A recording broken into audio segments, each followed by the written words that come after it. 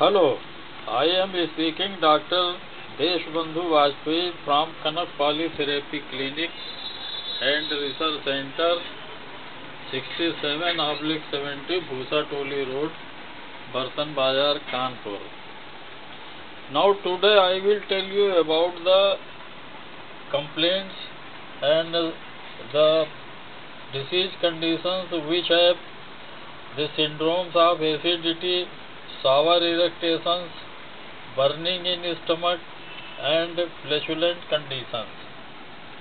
So these are actually the reflection of other complaints which patient have and uh, these are not an individual disease condition but in acute condition this can be happen in any way and to anybody for circumstantial reasons. Suppose if anybody is taking a heavy greasy foods uh, including butter and ghee so he can have the problem of acidity due to indigestion and uh, thus the syndromes can appear but there is so many disease conditions which are associated with this complaint. And uh, now with the model I will I want to show you how this could be happen. This is a stomach model. Now you see here this one is the stomach and uh, this is small intestine. This is pancreatic. Uh, this is pancreas and pancreatic duct is jointed here. So you can see in the back side this is a 4D model and you can see it here that uh, this is pancreas. This one is small intestine. This is the uh, stomach and in stomach now you can see in the front side this is like this. This one is the esophagus part and in this model you can see this is stomach this is liver this is diaphragm and uh, now food is chewed here and uh, chewing food mastication after mastication it is diluted here. So now this is esophagus. Through esophagus it comes to stomach. And then the stomach mixes in it the hydrochloric acid and so make a chyme of poop in the in this motion. So when any anyway here is valve that is closed when the chyme process is going on so this one is closed here. So this is like that. It closes you know, just like and then open when the stomach see that pH is okay and there is no much more acidity and acidity can be bear by the intestine. Otherwise to save the intestine there will be diarrhea and whatever food is taken that will go off.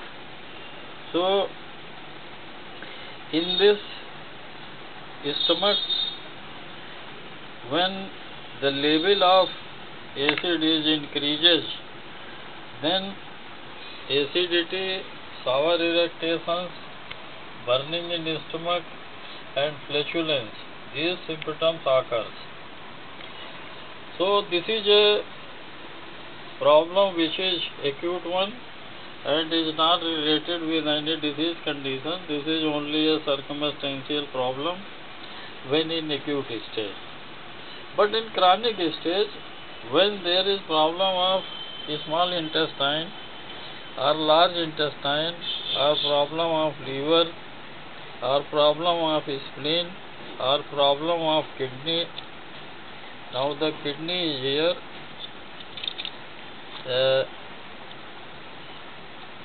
the problem of kidney So, with this uh, prop, uh, with this uh, liver, stomach and pancreas and large and small intestine. So these are associated problem and with the problem of both the kidneys. So if the problem that occurs due to a reflection of these original problems, then acidity, irritations and flatulences appear and uh, uh, it makes a complete disease condition. So, the region of acidity, if there is much more acidity, then the region of acidity or sour irritations or burning in the stomach or flatulence condition.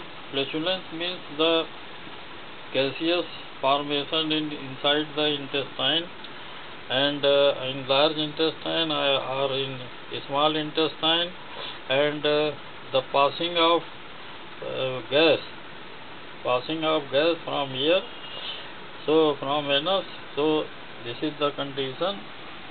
So flatulence that occurs either the irritations through mouth irritations that occur through mouth. Now it produces here and goes uh, out from here so these are the realistic conditions of acidity and uh, the reason should be find out if the acidity is continue and uh, that affects the general health condition of any patient. So he should find out the reason. The physician he should be aware of to find out the reason. Consult a physician and don't take any temporary remedy to remove it. Otherwise this will cause you a permanent harm to your disease condition and may convert into a very serious disease condition. So be aware of it and if you have acidity then you take a proper treatment. In our research center, we are treating acidity, sour irritations, burning in the stomach, flatulence-like syndromes. With the aid of ETG Ayurveda scan and Ayurveda blood analysis and Ayurveda urine examination with other tests and uh, then a combination and integrated treatment of Ayurveda and homeopathy and uh, Unani and other systems that that is possible to improve the health of patient or sick person. So this should not be neglected and uh, take care of it. This is a curable condition with the integrated and combined management and treatment. So be aware of it and be serious about this condition if it persists for a long period. So you like this video and share it to others and particularly to Ayurvedic physicians and homeopathic physician and Unani physician and if anybody is suffering with these syndromes you can uh, refer to our center and uh, uh, thank you very much for seeing it. Thank you